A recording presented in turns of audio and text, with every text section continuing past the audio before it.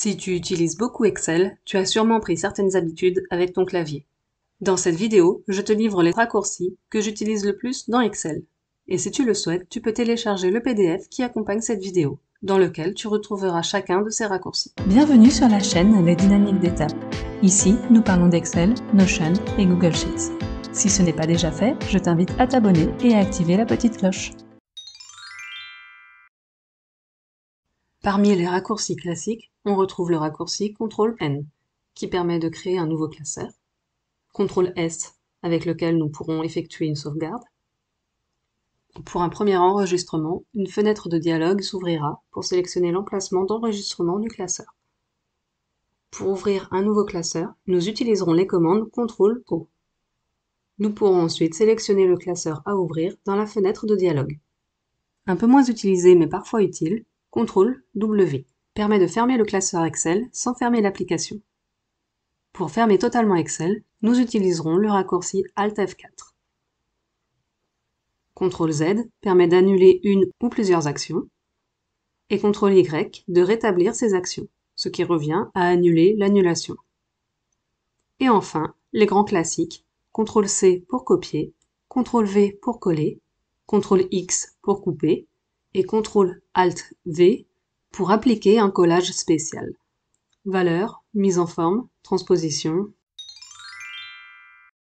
Nous pouvons nous déplacer dans Excel avec les flèches de direction.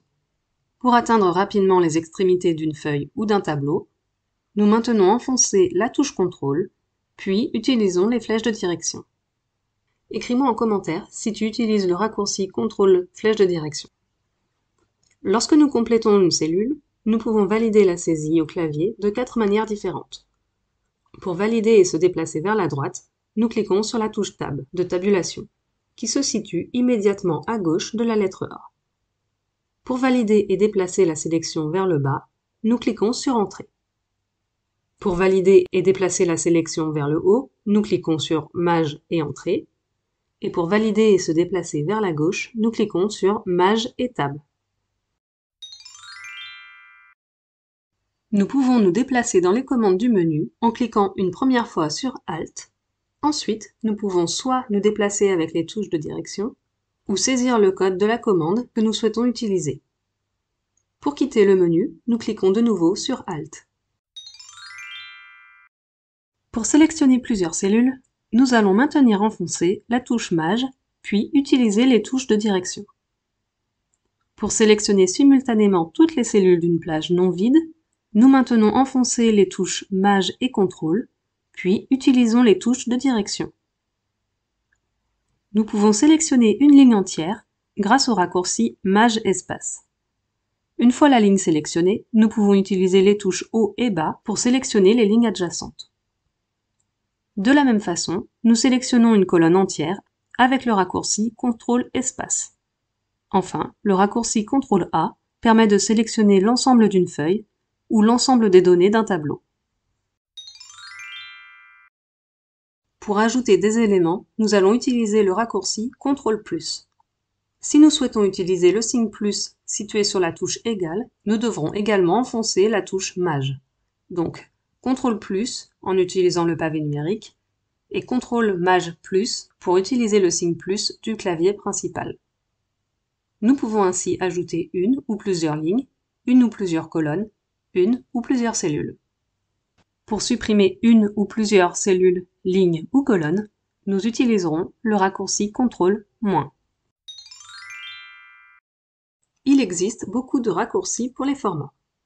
Personnellement, je n'utilise que les plus courants. Après tout, on ne construit un classeur qu'une seule fois. La majorité de l'utilisation ne nécessite pas de changer le format. Donc avec le raccourci CTRL plus MAJ plus 1, on ouvre la boîte de dialogue format de cellule. CTRL G permet de mettre en gras. CTRL I pour mettre en italique.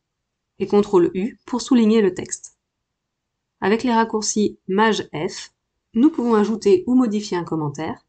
CTRL L permet d'insérer un tableau. Pour écrire plusieurs lignes à l'intérieur d'une seule cellule, nous utilisons le raccourci Alt Les raccourcis de cette dernière partie sont probablement ceux que j'utilise le plus. Nous retrouvons donc le raccourci CTRL pour obtenir la date actuelle et CTRL 2 points pour obtenir l'heure actuelle. Le raccourci CTRL B permet de dupliquer le contenu de la cellule directement supérieure. Par exemple, si je suis en cellule B3, je clique sur CTRL B, la cellule B3 et la cellule B2 contiennent maintenant les mêmes données.